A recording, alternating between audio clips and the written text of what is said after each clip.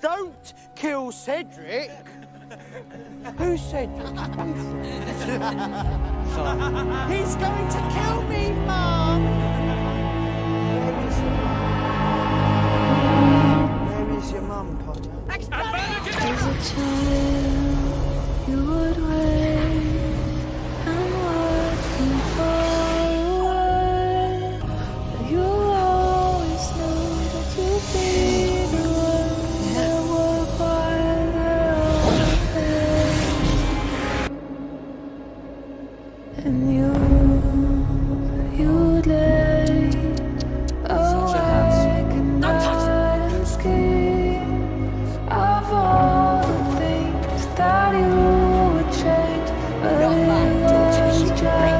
you.